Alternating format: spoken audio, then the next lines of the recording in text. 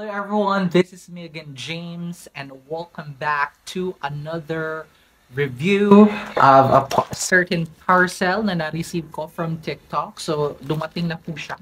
Yung order ko na parcel galing-galing kay Denshop PH.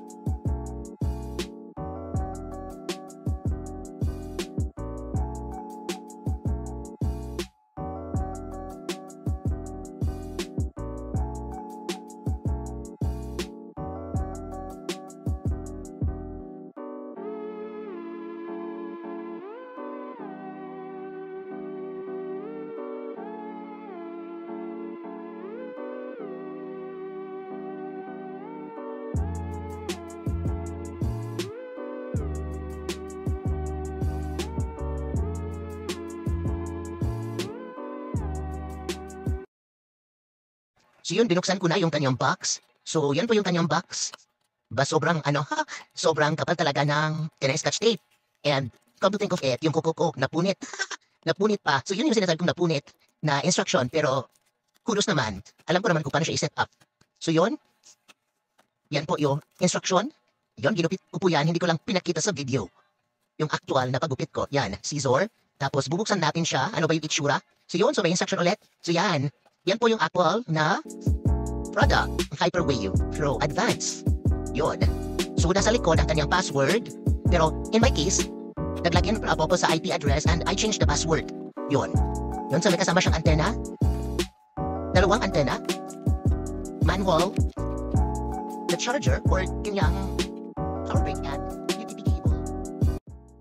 Now, let's do a quick speed test By the way guys, disclaimer that I have an external antenna. So memo antenna po siya. So speed test po natin gamit si Ofla, speedtest.net and wait natin.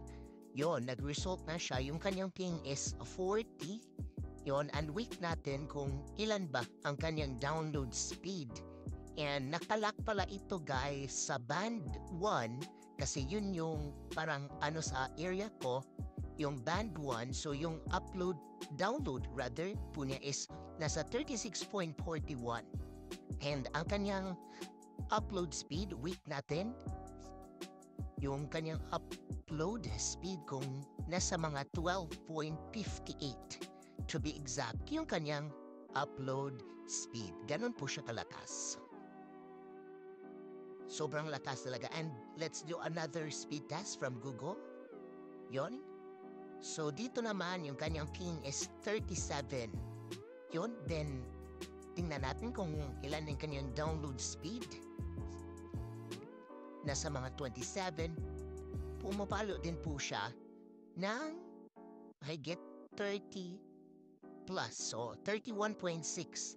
And ang kanyang upload speed is nasa mga pumapalo po ng 15. Grabe.